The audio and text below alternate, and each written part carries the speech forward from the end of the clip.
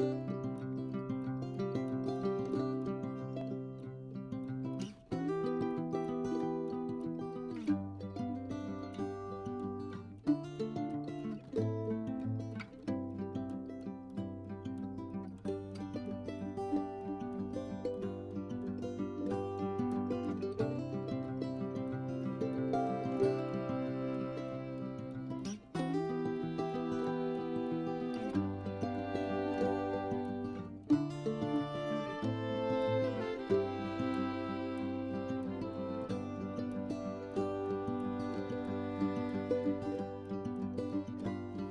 what?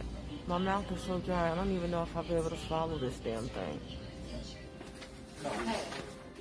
you know, more often until they get the dose of Synthroid right. And then once you're on a kind of a steady dose of Synthroid, they don't have to check it as often anymore. Might be once a year or something like that. But, So, um, so the important thing is follow up with your doctor they can check your thyroid function and make sure they get you on Synthroid, you know, when it's appropriate. Um, if the iodine doesn't work, you end up still, you know, maybe it helps but doesn't bring it on enough, or maybe you're still so still overactive thyroid, then you sort of have to come back to a choice.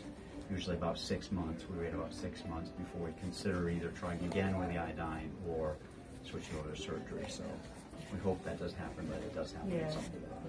Um, so that's why it's very important to follow up because you don't always know your thyroid is overactive. You know, some, some people can have that even though they don't have symptoms. Um, So you definitely want to get the blood test. Okay.